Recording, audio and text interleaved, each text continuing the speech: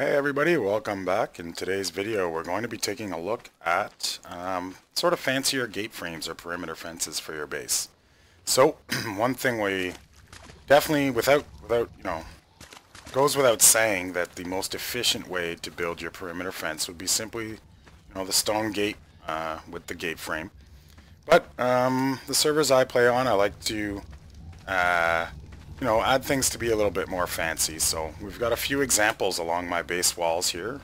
And uh, I differ the build depending on whether I'm on level ground um, or there's a bit of a slope on the go.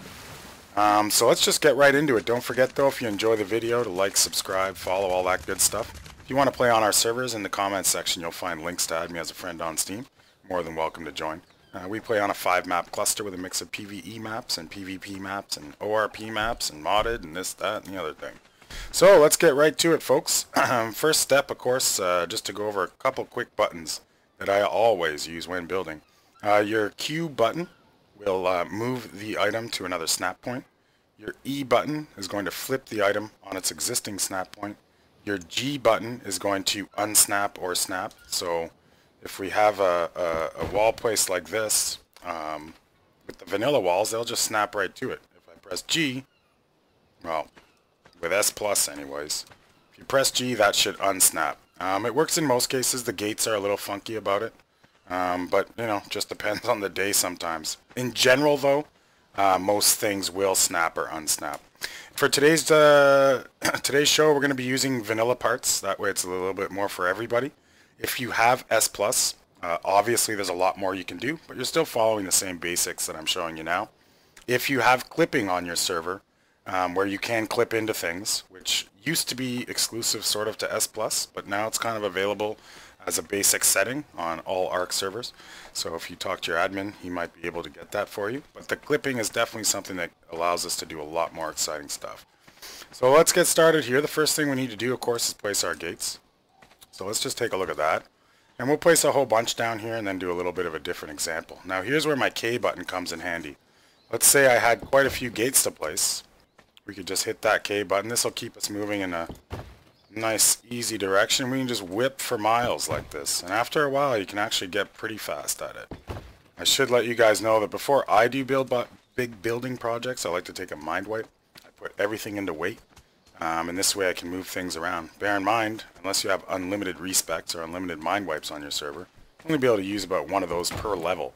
So you want to make sure that when you use one, you're right close to leveling up. So now you see we placed uh, some fence foundations in here, and we notice right away those aren't level. So for me, that's going to have a different design than two that line up perfectly. Those are pretty close. So we'll get to see our examples. So we're going to just whip down here and place these all through.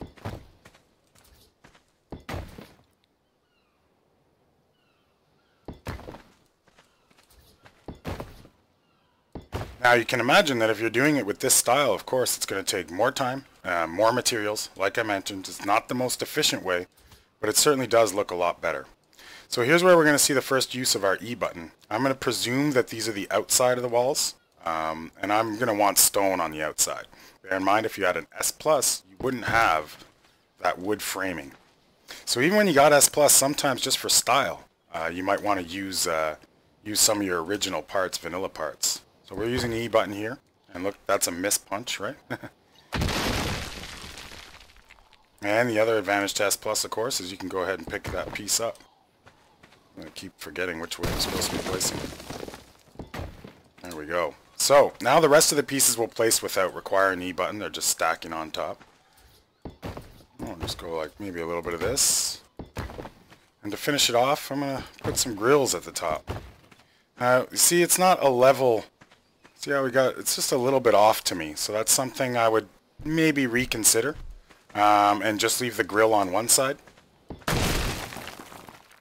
And then you don't notice that, uh, that sloped ground so much. So when we have it real nice and flat like this, uh, one thing I like to do, which can look pretty cool, let's get some slopes up there. Um, a little glare. And I actually like the other way. For me, it's going to be look a little bit like this. And boom. And then you have that kind of open sloped concept. And we could go up a little higher with it.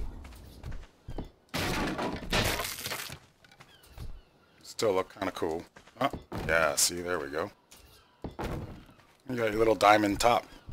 Hmm, and you can, you know, use your wood if you if you're with scorched earth or clustered. Adobe mixes in real nice with that. I generally stick with stone as the minimum on the bottom just to keep the majority of those AI dinos out.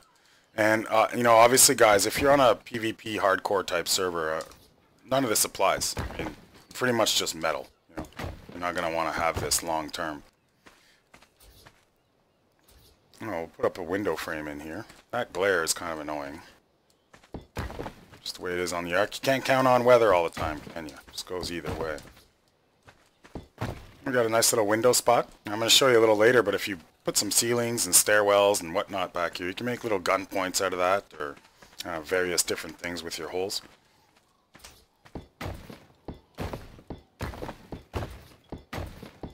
And the railings, especially on S+. In S+, a railing can be switched to a half wall. That can make for uh, quite an exciting uh, build where you get a little bit more flexibility. You know, not everything's a full piece, and uh, that is... I'm a big S Plus fan. It's installed on all our servers. Um, we remove a few items because I'm in a really big tribe, and there's certain things that we can't have. So there's like four different quick examples, real easily done. Let's try a couple other ones. What else can we do with what we got? Ah, okay, let's see if with the vanillas we can clip our wood right into that. It doesn't look like it, eh? That would, oh, there we go. Alright, so now what we're doing with this wood here is it's really not giving us a big benefit on the security of our walls or anything, of course. And we managed to snap that. We snap those woods uh, right inside it, right? And what that does for us is when it's time to paint, we can get a lot more color variety and kind of a neat little unique style that you don't see all the time. If you look right there in the middle, we have that wood in there. It's kind of cool, you know? And that's something I use once in a while. Uh, I've never seen how it would look with a bunch of railings like that. It should be interesting. Right, right on. I mean, look how that could come out there. That is neat looking. Let's try another wood one there. And, you know, you start getting into the complex builds with Ark. The mechanic for building, as many people will tell you, is a little bit weird. Um, so you're going to have some, again, big advantage to S Plus is you're going to have some things that just don't work the way you want, and you're going to want to either demo them or pick them up. With S Plus, we can pick that up. But I'd like to get that other wood piece in just to get a look at this, because this is kind of getting me all excited here. Just, oh, we had it. There it is. Now look at that. That is a neat wall. If you build a wall like that, I don't think too many people would have that on the server. You know, that would probably be unique to you. Um, hopefully, unless they watch this video. So there's a little idea on four, you know, four basic designs. You get the point though. It's those fence foundations give us that flexibility and give us that ability to make a, a little more style. So let's go take a quick look before we wrap it up inside my base where we've got a couple of examples of those walls. Here you can see that it's not a very level ground. Um, it kind of goes up and down, so that's why I use those uh, railings, uh, making it look like bars. I painted them white it kind of brings that orange out a bit, and then uh, I, I, believe it's mud coloring on the gates out there. Uh, for another video later, this is glass, part of the S Plus thing. Makes us look like we can build really cool steel frames. We're going to take a look at that in the near future. Um, let's get up here a bit where we can see the walls. And I've got these painted white again. Brings out the flash a little. Take a look at that from the outside as well. I don't think we can get out this way, but we'll get over there. And we're in a bit of a mess here with all these uh, uh, egg farm type dinos. Now again, it is a it is a PvP server, so I do have you know flower turrets placed around at least to keep the riffraff out. But it's not. I don't have hardcore heavy defenses like in metal and whatnot, right? So, but we do have, as you can see, some basic stuff just to keep those little thieves out.